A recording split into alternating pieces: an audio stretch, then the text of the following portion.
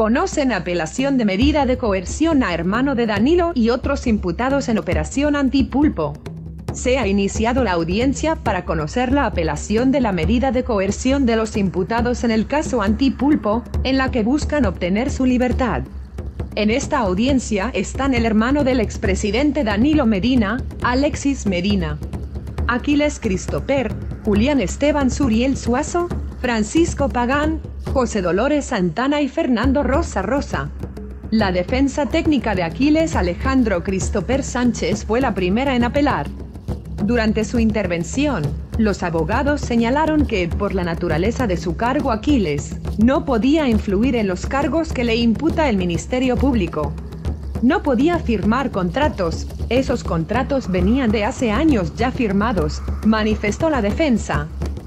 Desde 2015 Aquiles se desempeñaba como director de fiscalización de obras en la Oficina de Ingenieros Supervisores de Obras del Estado ISOE.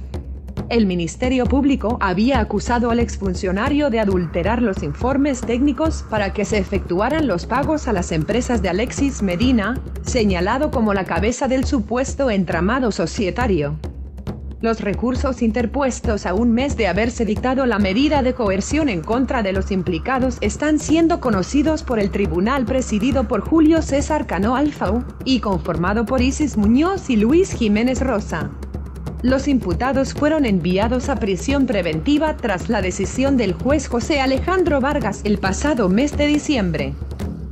La audiencia fue aplazada la semana pasada a fin de dar oportunidad a la directora de persecución, Jenny Berenice Reynoso, y el director de la Procuraduría Especializada de Persecución de la Corrupción Administrativa PEPCA, Wilson Camacho, de revisar las instancias depositadas por los imputados a través de sus abogados.